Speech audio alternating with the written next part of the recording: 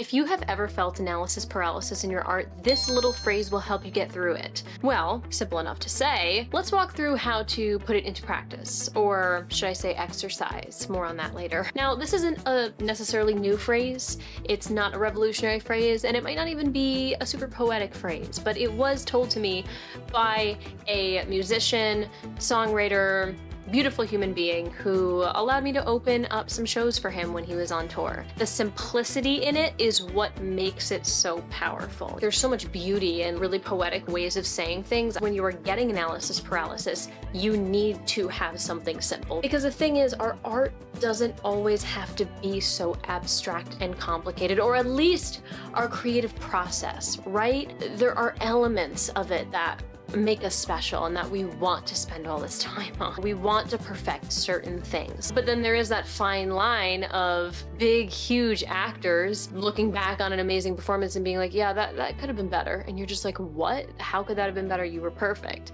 But this is the thing. We need to hold ourselves to a high standard, but then there's also elements where it just, why are we overcomplicating it? What things in your artistic life can you just put out and not overcomplicate. There are a few steps on how to use Keep Going to achieve your creative dreams. And the first one is having systems and simplicity over having big goals and grandiosity. Goal setting is amazing.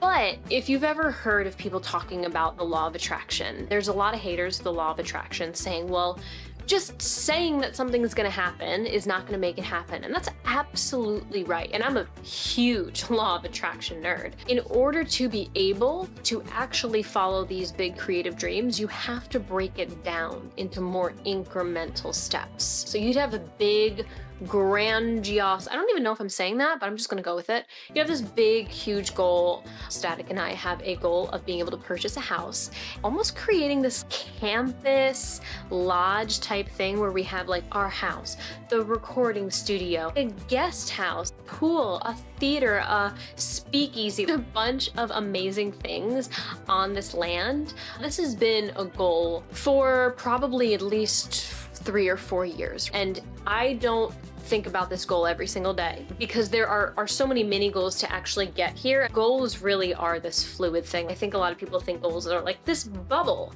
where you pop it and it's done. But a goal is like when you spill glitter on the ground and you're walking in it but then your the glitter's like sticking to you and it's just going to the next one. I don't know if that's a good visual. You keep pouring glitter and then once you walk towards that spot, hey, there's a lot of glitter, but then there's like more stuff. It's just like a constant drag of beautifulness throughout your life that never really stops. I feel like that visual works in my head. Let me know if it works for you or if it's hecka weird. It's not this bubble. Little steps that just make life so much more chef's kiss and delightful. I have other goals that are slightly smaller, and then I have goals that are slightly smaller in that, and some goals that are slightly smaller in that. Let's use my example, Artist Oasis Compound. Also, I want to tour my music and have my music be loved and recognized, and that, see, like, this is just one goal. Like, you can have so many. That's the wonderful part of living. When I was little, I asked an adult, I was like, can you have more than one job? And they were like, no. I was really sad, but you can. You can have more than one job. You can have more than one goal. You can have more than one persona, anything. Big artist compound. Within that, I'm saying, okay, I need to be able to afford a house. So I have a goal within that. That is, okay, I want to save up like X amount of money for a down payment for a house. Then I also have some goals within that too is, oh, maybe I want to make more money in my freelancing work. Right now, one of my goals is I want to be able to make money from like YouTube and blogging, which is why I'm here. And I'm so grateful that you're here. And if you are here, feel free to hit subscribe and help me spread that glitter. so I have all of these little goals that are miniature and you can see that this big goal that I'm talking about has so many elements. I'm like, I want this and I want this and I want like a loan, I want to build a pool and I want to build a studio and I want like that's it's so big. And so these smaller ones are a little bit more clear because I'm closer to them. I want to be able to save X amount of money to save up for this house, however much that is. That's a very clear goal. Okay, save up this amount of money by this date, very clear. I want to be able to make a full-time income from YouTube and vlogging. Okay, however much that would be, I want to be able to make that by this date. Very clear. Starting simple. Think about a big goal that you have And if it is this big grandiose, still gonna say it like that, still not sure if that's how you say it, I bet you you have at least one of these grandiose goals that is, I have had this goal for years. I feel like I'm not getting anywhere close to what I want to get to it. Start breaking it down. What is a way that you can make your productivity work for you? How can you make it really simple? How can you make it so easy for you to get started on whatever you need to get started? Let's not get into, I want to be able to buy a million dollar house and have a pool and have this in three years. What do you even, where do you even start? That's so complicated. Let's just start with something mini. I wanna save up $10,000 by May 1st, 2025. Cool, that's clear. And then you can even break it down more into systems. Simple systems for working and practicing, systems for achieving those goals. I make this much, I can save this much a month, it's gonna take me that long. If I want to make more and save more, what other work can I find? Can I raise my prices? Can I find a better job? Things like that. Simplify, simplify, simplify, because it's actually gonna support those bigger, more complex dreams and actually make it easier for you to see it when you break it down. It's this whole idea of people have an idea to create a product. I just bought this hydroponic garden. A business owner didn't just say, hey, we're gonna build a hydroponic garden. Yep, Cool, let's do it. Gonna make a hydroponic garden. Gotta start by researching, then we gotta gather a team, then we gotta create a prototype, then we got to do this. There's a million steps to that that are actually very simple. If you broke it down, you'd actually be like, wait, that's so simple. Like literally make it stupid easy. I very much suggest a tool like Asana. I'm using Asana right now for my notes on my iPad. You can use it for free. It is such a simple way to just assign yourself tasks every day. Or you have a task and you have little subtasks, ready? Okay, so this is my YouTube. This is my YouTube video. I don't know if you can see it, but this is the title. And if you scroll down, you can see there's subtasks. And so you see where I have the YouTube video, but then I also say, okay, script is outlined, slideshows created, videos filmed, script and video edit. Like I break it down. It's also like more satisfying to be able to click off all those things. And that's really important in your creative life. You want to see that things are moving. I bet you have a goal and you might just feel I've had this goal for years and I'm nowhere near it. If you break it down into these small little systems, you can actually see yourself getting closer to it. It's amazing. If you have genuinely no place to start, there's an amazing tip from Jack Canfield that really helped me get started, and I highly suggest his book, The Success Principles.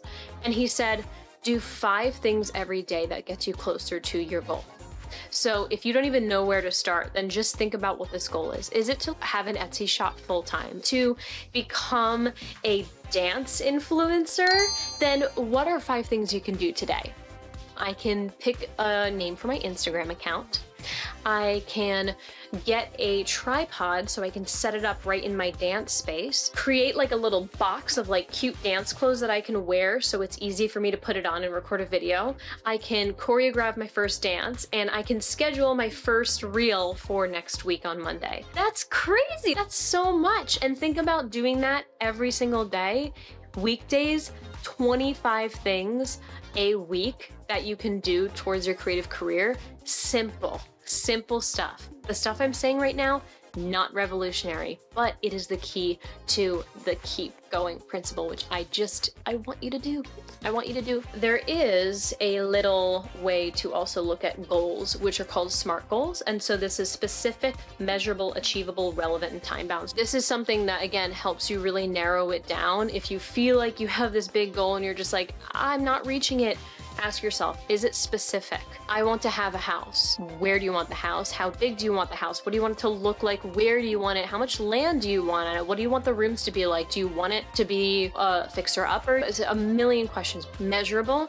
When do you want this house by? How much do you want to be able to pay for this house? How much do you want from a loan to get this house? Achievable. I want to have $10,000 by tomorrow is probably not achievable unless you have 9,999 in your bank account right now. Relevant. Is it relevant to your aspirations as a whole? Does it make sense? I want to have a dog that can walk on its hind legs and make me dinner is probably not relevant or possible. I don't, I would say that's not relevant for sure. Time bound. By what time?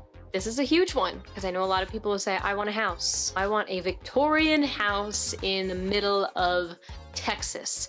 By when? Because if you're putting that out into the universe, the universe is going to be like, okay, see you in 20 years. When do you want it? By next year? In two years? Be specific. The next big point of this is that constraints are actually your creative team member, not your enemy. A lot of people are afraid of constraints. You're creative and you got a full time job, and you're just like, I have no time for my art which I have dealt with, and that is tiring and exhausting. And the worst feeling is when you've spent all this time being super intentional and present in this full time job, and then you're home and you're exhausted. There is a balance to this. But if you give yourself constraints, it's actually gonna help you be more productive. I'm saying this healthy constraints. I'm not saying to work 14 hours and then be like, okay, I'm gonna not sleep and then work on my creative career. Use it as your advantage. If you've ever read the four hour work week, there was a little story that Tim Ferriss had in there. He was really late on a paper. He had told his professor the night before, hey, I have been trying to work on this paper. I had to interview someone, but he dropped out, so I'm not gonna be able to turn it in by tomorrow. And the professor was like, you'll figure it out. By the next class, he had a paper, and I think he got a really good grade on it. He also gives this example of people who work full time, and let's say they have to leave early to pick up their kid from school. They usually work from nine to five, they're working from nine to two. Somehow magically, they get all of their work done at two. People fill up the time that they're given. We all shuffle papers from 9 to 5. Another example in his book, if the doctor said you physically cannot do any more work than two hours a day or one hour a day, what would be different about your life? What would be different about the work that you're doing both in your dream creative field and not? What if you're working a full time job remotely? You're filling up eight hours, but you really only do three hours of work. That's crazy. What if you tell yourself on Saturdays, I have the whole Saturday to be creative, and then you're just like, I did nothing? Probably because you said you had the whole Saturday and you were kind of like, I have too much time. For me, if I have two hours of songwriting a week, which is what I assign myself, I get that done. I focus the heck out of that time. Think about the constraints you have and use them as something positive instead of something negative. Constraints are a tool. It's almost gamifying something like, okay, I got two hours to do this. What can I do within these two hours to really prioritize, really get this done? I'll set timers too when I'm cleaning the house and I'm overwhelmed. One hour, two New Girl episodes, and wherever I'm at with that, I'm done. Same thing with things like Pomodoro Timer, or if you do body doubling subscriptions online like Focused or Cave Day or anything, those are constraints and they're fantastic for reminding you how much you can actually do to get yourself to keep going. This goes back to this whole idea that productivity as a creative does not have to be this harsh, scary thing. Productivity is energy, it's spiritual, it can be joyful and beautiful. Even the simplest things on Asana, one of the reasons why I love it so much is that Every once in a while when you check off a task, this unicorn flies across the screen. They have all these little delighters and that is so special. Things like that, like being able to color coordinate. It's Purple and I have a little flower emoji. Gamifying is fun. I follow this YouTuber, Daya. When I started becoming a freelancer, I watched all of her videos and she had this one video about gamifying and getting your first client. It was this whole notion board of you give yourself one point every time you send a proposal or send a cold email. You don't focus on outcomes, but whenever you do it, you earn this amount of points and buy yourself something. It's just, it's cute. And we love cute productivity here. There's this even deeper level of, of gamification too, is that it can add higher stakes to your tasks and projects. It reminds you that you don't have all day. If you said that you had all day to do something, I guarantee you're like waiting until the end of the day, at least for me, for stuff I don't want to do. when you do gamify things, it's, oh, crap, let me really take advantage of this and squeeze as much of this out of it as I can. It also makes repetitive tasks not so boring, making certain work more joyful. I have a lot of repetitive tasks that I do with clients. I do SEO, marketing with clients and there's some repetitive tasks that I really don't need my brain for at all. I'll turn on New Girl or I'll turn on a podcast and do that. And then when I have to actually focus, I'll turn it off and focus. But it's like, why can't you make things fun? Why do dishes have to be boring? Why can't you turn on Friends every time you're washing dishes? just because you're an adult. No, adulting is super fun. This gives you practice for working on your own creative project. Your creative life is not always going to be sunshines and rainbows. I love being on stage, but the amount of time that I'm on stage versus the amount of time that I'm practicing or planning or doing something else that has nothing to do with that, but I know I have to do it for the show, it sometimes can be very overwhelming. But if you just use this idea of gamifying things, it helps you keep going for your own creative project so you can actually see the return on it that you want to. This next part is we want to ritualize and romanticize. How can you romanticize your life? How can you make your life more beautiful? There are so many things that I do every single day that just make my life so much better. I always make my bed every single day. I do this acupressure mat. It's so painful but relaxing. This red light lamp and I'll do that before bed. I have tea in the evening, hot yoga on the weekends. And these are rituals. These are not things that we do because we're adults and we sign up for the class and we go to it. These are very special times that we can just do what we want with and just enjoy. I like to watch cute comedies and do self-care and that's fun for me, so why not? I like to have really pretty things around my house that are my favorite color because why not? These are all rituals using things that bring us joy, buying things that bring us joy, color coding things, the colors that we love, using emojis, putting up pretty wallpaper, designing our spaces, colors that make us happy. Why aren't we doing more of this? This is what it's like to be a creative. It is not, again, gotta pop the bubble of this goal and before I'm there, I have to struggle. If you're considering painting, performing, singing, acting, if we're thinking of this as an exercise, the rituals are the, both the warm up and the recovery. I do some rituals before I go on stage certain energy exercises and stretches and recovery wise i sometimes have to unplug. I can't talk to a lot of people after shows. When I did theater and people like wait for you at the stage door and I'm like with my headphones going out the back door. I just want to unplug and just listen to something and not. It was exhausting for me in the best way. Think of this as what's required. You're gonna get hurt if you don't do this you're gonna pull a muscle if you don't do these rituals around your creative exercise. Keep it moving. Keeping things going and moving can help you physically get out of your head. I think this is why so many people were overthinking in 2020 because we were stuck inside. We were physically staying stagnant. It is crazy how much physical stagnancy can actually affect your mind. In acting school, when we had to memorize scripts, our teacher would say, you cannot memorize them sitting down. You need to memorize them when you're moving. You need to memorize them when you're doing dishes, walking on the treadmill. There's a whole energy portion of that too, of just physically getting it in your body so that when you're doing the exercise, now the last thing you're thinking of is the lines and you're thinking about being present. This also helps you re-examine your priorities and your strategies. It's crazy sometimes when I'm setting a timer, for instance, I say I want to work for an hour and the timer goes off and I'm like, oh, I'm like in the middle of this one thing, let me just finish it.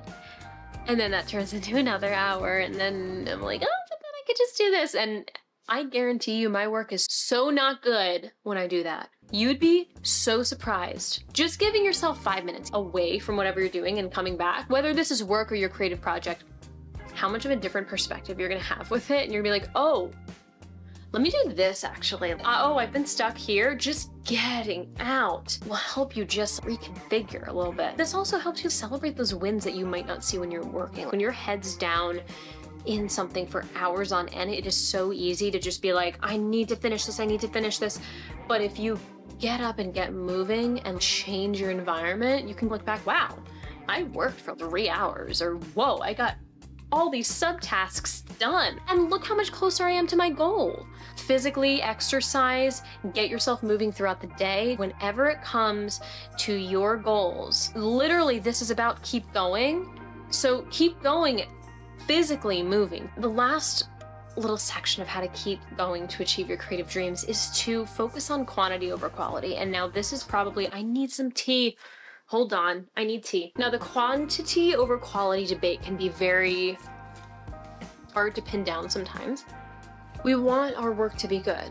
We have integrity in our art or a cozy girl job that we have right now, a job that you're having that's not draining too much energy from you, or a dream cozy girl job, or whatever job you have right now that you're looking to transition. We're focusing on quantity over quality because when you are just getting started in your career, when you're just getting started pursuing these creative goals, we cannot be perfectionists. This is where we can get that analysis paralysis that we talked about at the beginning when we're thinking of quality over quantity. Oh my god, I've never posted on, on Instagram before, but I can't post because this isn't perfect. We have to reevaluate every single action that we feel like we're hesitant over and just we'll ask ourselves, how much does it really matter? Who is really gonna notice? Little, little tip that I always have, this goes for very specific things, is that if it's C plus or better, release it, post it. If we are perfectionists about it, nothing's ever gonna happen and that's a lot worse.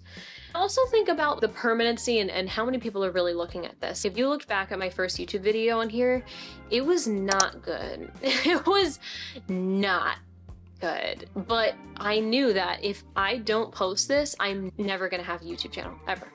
It was very painful and very scary, but I literally had zero followers. No one was even gonna care. No one was gonna see it. I did not tell any of my friends or anybody about it, and it worked great. Even now, there are things about my YouTube channel I could do this better, but I'm still in this phase of quantity quantity because I love building this community and I want to keep it going for a long time. And so I know that I need to focus on quantity over quality. Something that I really like to say is that quantity keeps you going quality gets you good. Think about where you are in your journey right now. If you are at the very early stages of it, then focus on quantity because you got to keep going. Once you've been doing something for a few years, you know you're going to keep going at this, you want to get good now, we're going to focus on quality. Content creators will do this where they'll commit to posting consistently once a week or once every two weeks for a year, and then they'll be like, okay, I know I'm committed to it. Now I'm gonna post a little less frequently, but I've hired a team and I'm really gonna be putting a lot more time into each video. Some people do that, other people don't. It's fine either way, but that's just an example. My question for you is what is one thing you need to do today to keep going in your art? Based on all of the things that we've talked about, is it doing five things every day that gets you closer? Is it keeping things super simple in your goals? Is it making systems a little more enjoyable? Is it creating rituals and being more intentional about your space or your life or the things that you do or the people you see? Let us all know in the comments below. And I will see you next time. Bye. Sana Sana very demure, very mindful, very mindful, very demure.